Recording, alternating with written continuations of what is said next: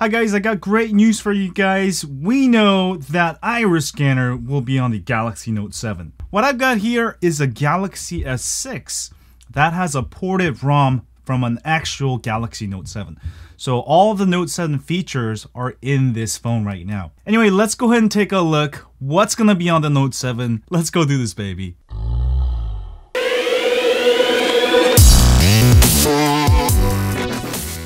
Alright guys, what you're seeing here is Unreal Galaxy Note 7 ROM installed on my Galaxy S6. Now developers were able to get a hold of the firmware and port it to the S6. Now it's two more days until the actual announcement, but we can actually go look at all the new features. Now the first thing I will show you obviously is the model number. Uh, the model number will be an SMN930F. That's what's based off also, software info. Unfortunately, we will not have Android Nougat. Uh, as you can see, it's running Android 6.0.1. This is a Noble Note 7 port ROM. I'll have a link to it if you guys are interested. If you have an S6, you can install it.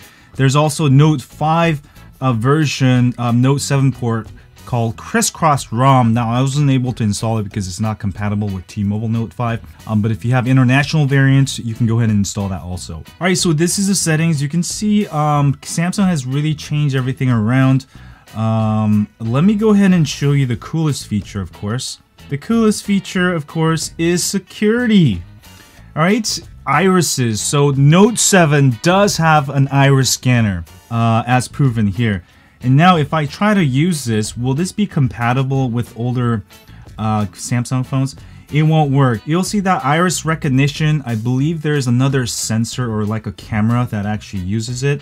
So if I try to use it uh, with mine here, it actually won't work because there's no actual iris uh, sensor. So Note 7 will definitely have iris sensor. You'll see unable to use iris uh, recognition, which is awesome. It could be a gimmick, I don't know, but we will see how it goes. But iris scanner definitely is to be on the Note 7. All right, you still have fingerprint sensor, so the Note 7 will have both fingerprint and iris. Uh, as far as some of the new features, um, Samsung has really uh, recustomized, redesigned the settings here.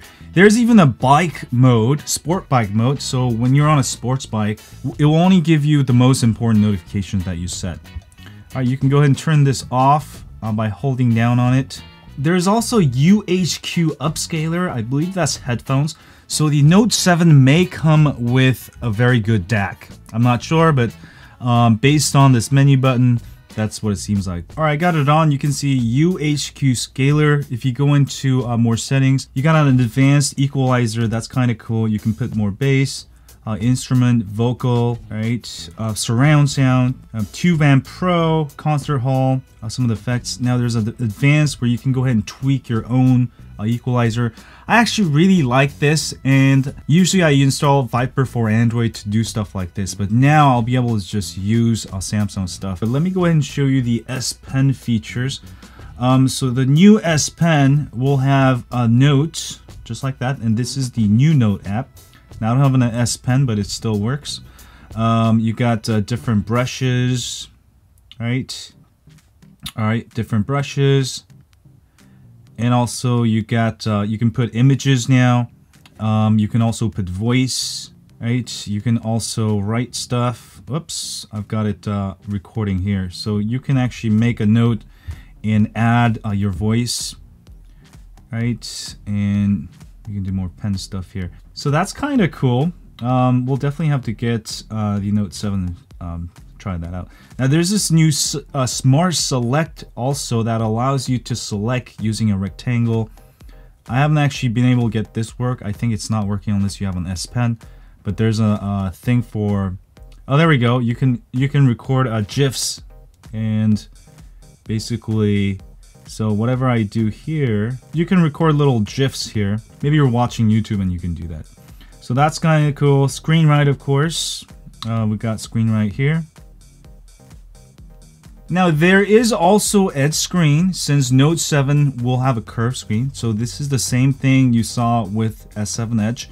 Um, now this is not added to the custom ROM. This actually is uh, from a Note 7. So Note 7 will have full edge panels, uh, all that good stuff. So it's going to be a sort of a hybrid phone this year, which I guess is okay. I think that's a good idea, having one phone instead of having two different phones that are pretty much the same. One's a little curved and the other is not. And you got the new icons here. Uh, this is all part of Galaxy Note 7. You got uh, game launcher and game tools, just like the S7 Edge. Here are all the advanced options here. Smart capture, um, palm swipe, SMS. There's a video enhancer. Okay, not sure what that does. Device maintenance, um, sort of checking device, um, can optimize your device. That's kind of cool. You can actually block, allow, prioritize uh, your notifications. That's sort of new. Uh, the camera, yes, the camera is, this is actually a Note 7 camera that will be on there. I checked that out earlier, but and it doesn't actually change much from before. Um, you got video size of 4K, 1080p 60 frames per second. Alright, the modes are pretty much identical to S7 Edge. Nothing really new here, so that's a little bit disappointing, but um, basically you're gonna have all the features you saw with S7 Edge. Anyway, I just wanted to show you this real quick. Note 7 will have an iris scanner. We just verified with this ported ROM. Now there's ported ROM for the S6, S5, and also the Note 5.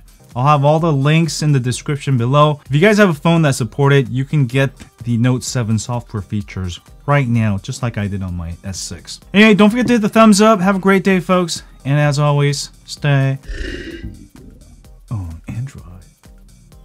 Click here to subscribe.